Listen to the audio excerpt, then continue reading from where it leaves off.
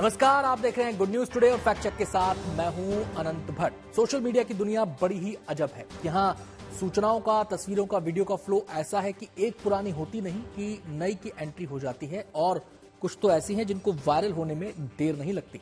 ऐसे में यह तय करना मुश्किल होता है कि जो सूचना सामने आई वो सही है, गलत है, झूठ है, सच है, क्या है? और इसके लिए ज़रूरी है कि हम उनका फैक्ट चेक करें, उनकी तह तक जाए, पूरी पड़ताल करें और उसके बाद ही किसी नतीजे पर पहुँचे और ये तय करें कि हमने जो देखा, सुना, हमने जो पढ़ा, वो सच है या नहीं। तो इसके लिए हम फैक्ट चेक करते हैं आपके लिए ताकि आप पूरा सच जान सकें। तो आज हम सबसे पहले आपको बताते हैं कि किन खबरों की पड़ताल हम करने वाले हैं। पहली खबर जिसकी हम पड़ताल करने वाले हैं, इसके ज़रिए दावा किया जा रहा है कि बागेश्वर धाम में भक्त हर दिन नोट वर्षा करते हैं। इससे जुड़ा एक वीडियो वायरल हो रहा है और इस वीडियो के आधार पर तमाम दावे किए जा रहे हैं। अब इसकी सच्चाई क्या है, ये आज आपको पता चल जाएगा। दूसरी जो हमारी खबर है, उसमें उस वीडियो की तहकीकात करेंगे, जिसके ज़रिए दावा किया जा रहा है कि सूरत में रस्ते पर, सड़क पर कोई हीरे फेंक कर चला गया और उसको पाने के लिए वहाँ पर लूट मच गई। अब इस वीडियो की सच्चाई क्या है, ये भी आज आपको पता चलेगा। तो चलिए शुरू करते हैं अपना सफ़र।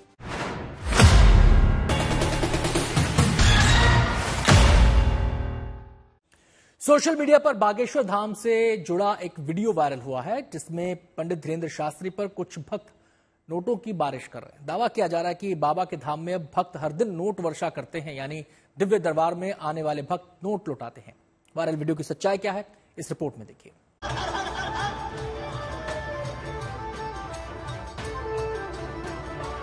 इसमें कुछ बातें ऐसी लिखी हैं जो दोनों में लड़ाई हम करवा सकते हैं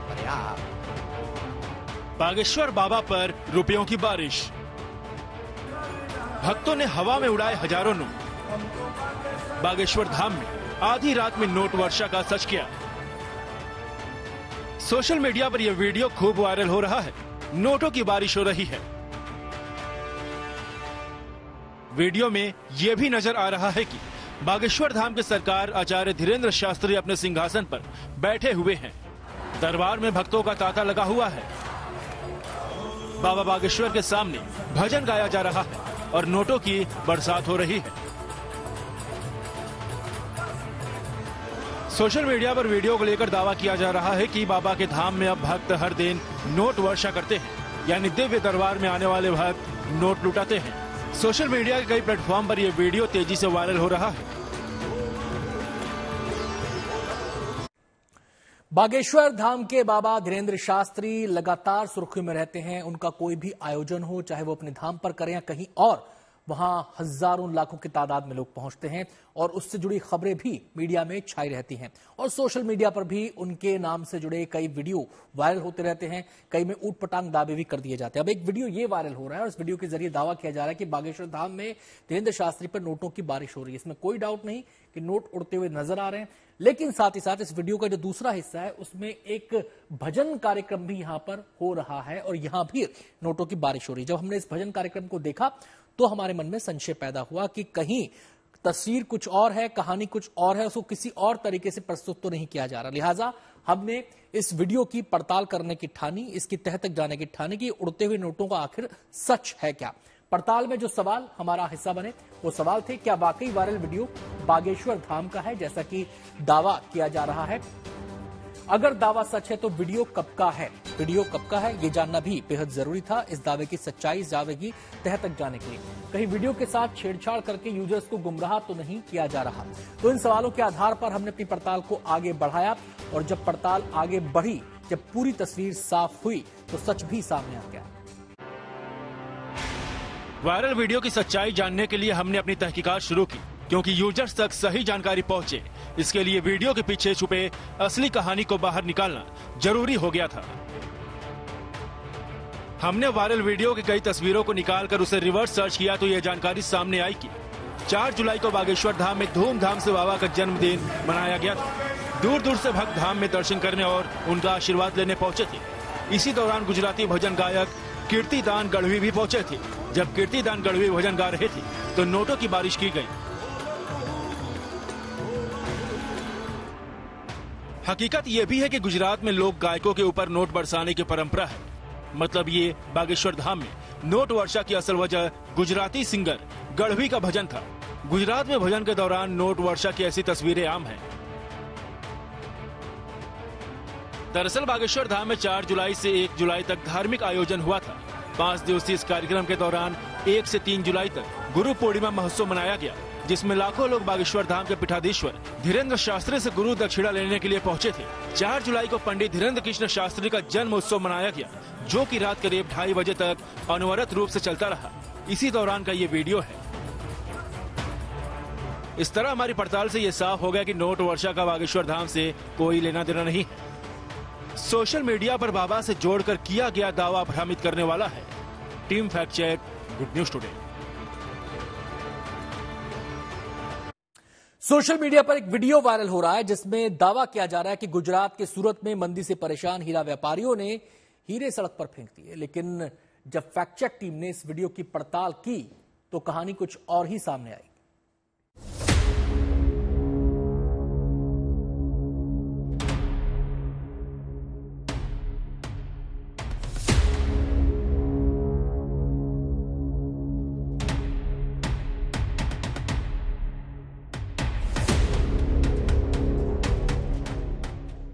गुजरात का सूरत शहर डायमंड कैपिटल के नाम से मशहूर है। दुनिया में बिकने वाले 90 प्रतिशत हीरो को इसी शहर में काटा और पॉलिश किया जाता है। लेकिन पिछले कुछ समय से इस क्षेत्र में मंदी का आलम देखने को मिल रहा है। इसकी प्रमुख वजह रूस यूक्रेन युद्ध को माना जा रहा है, क्योंकि रूस कच्चे हीरो का सबसे बड़ा सप्लायर है और उस पर पश्चिमी देशों ने तमाम तरह के प्रतिबंध लगा रखे हैं।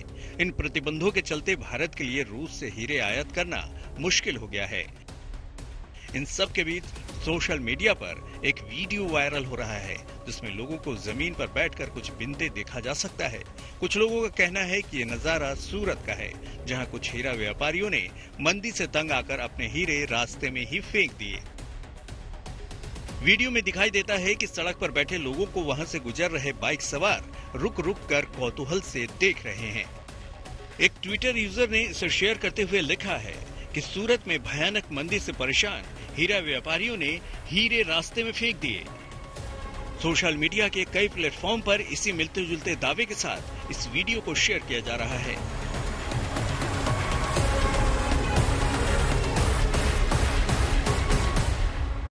सूरत पूरी दुनिया में डायमंड सिटी के नाम से मशहूर है। अरबों का कारोबार डायमंड का यहाँ पर होता है। हीरों को तराशा जाता है, खूबसूरत शक्ल दी जाती है, शेप दी जाती है और उनको ज्वेलरी में भी ढाला जाता है।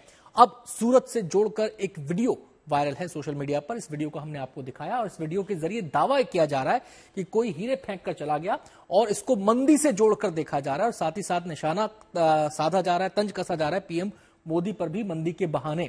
अब इसमें कोई डाउट नहीं कि इस वीडियो के अंदर लोगों की भीड़ है, सड़क से कुछ चुन रही है और दूसरे हिस्से में यह भी है कि हाथों में कुछ लोगों के कुछ हीरे जैसे टुकड़े भी ये लोगों के हाथों में यहाँ पर नज़र आ रहे हैं। अब इन दावों को लेकर और इन तस्वीरों को लेकर हमारे मन में संशय पैदा हुआ। वैसे आपको बताया कि सूरत में एक इलाका ऐसा है जहाँ सड़क पर ही हीरो का कारोबार होता है। जैसे सब्ज़ी मंडी लगती है, वैसे वहाँ हीरो की मंडी भी लगती है। ये भी जानकर आपको हैरानी होगी, लेकिन ये सूरत का सच है। हमें यह लगा कि अगर ऐसी कोई खबर, हीरे फेंकने की खबर कोई होती तो वो ज़रूर सुर्खियों में रहती।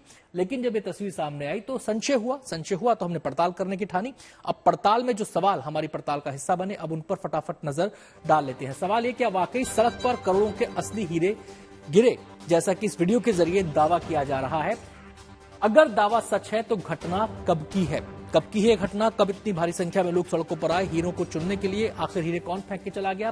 कहीं वायरल वीडियो के ज़रिए यूज़र्स को गलत जानकारी तो नहीं दी जा रही। ये तमाम अहम सवाल थे, जिनके जवाब जानना ज़रूरी था। हमने फैक्ट चेक किया और जवाब भी मिल गया।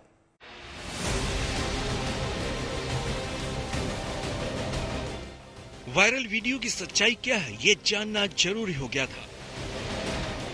गुड न्यूज़ टुडे की फैक्ट चेक टीम ने अपनी पड़ताल शुरू की। कीवर्ड के ज़रिए तलाशने पर हमें इस घटना से संबंधित एक रिपोर्ट, एक आधिकारिक वेबसाइट पर मिली। इस रिपोर्ट में ये बताया गया है कि घटना वराछा सूरत के मिनी बाज़ार इलाके की है। इस इलाके में हीरे पड़े होने की सूचना मिलते ही वहाँ लोगों का जमावड़ा लग गया। बड़ी संख्या में लोग वहाँ पहुंचकर हीरे बटोरने लगे। लेकिन जब हकीकत सामने आई तो सबके होश उड़ गए। असल में सभी हीरे नकली थे। ऐसा कहा जाने लगा कि किसी ने जानबूझकर प्रैंक करने के इरादे से इन्हें फेंका था। सर्च के दौरान कई और रिपोर्ट्स हाथ लगी। इन रिपोर्ट्स में भी यही लिखा है कि जो हीरे लोगों को मिनी बाज़ार में मिले थे, वो नकली थे और उनका इस्तेमाल कपड़ों पर कारीगरी करने और आर्टिफिशियल ज्वेलरी बनाने में किया जाता है। दरअसल वराछा इलाके में सब्ज़ी मंडी की तरह डायमंड की भी मंडी लगती है। यहाँ लोग फुटपाथ पर बैठकर डायमंड बेचते हैं। इसी इलाके में ये घटना हुई, जिसे लेकर डायमंड कारोबारियों में खासी नाराज़गी है और उन्हें लग रहा है कि किसी ने उनके साथ मज़ाक किया है। वर्षा पुलिस स्टेशन के पुलिस इंस्पेक्टर अल्पेश गबानी ने भी गुड न्यूज़ टुडे की फैक्ट चेक टीम को ये जानकारी दी कि जो हीरे सड़क पर गिरे पाए गए थे, वो नकली थे। इस संबंध में किसी ने पुलिस में कोई शिकायत नहीं की है। इस बारे में और जानकारी पाने के लिए फैक्ट चेक टीम ने सूरत डायमंड एसोसिएशन के पूर्व अध्यक्ष दिनेश नवड़िया से संपर्क किया, जिनके ज़रिए ये सच सामने आया कि वायरल वीडियो में दिख रहे हीरे दो सौ किलो के भाव पर बिकते हैं और किसी ने डायमंड इंडस्ट्री को बदनाम करने के लिए इस तरह के हीरे सड़क पर फेंक दिए।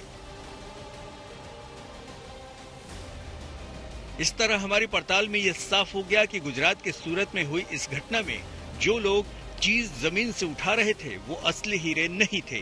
ये बेहद मामूली क्वालिटी के नकली हीरे थे। ज्योति द्विवेदी के साथ team fact check, good news today.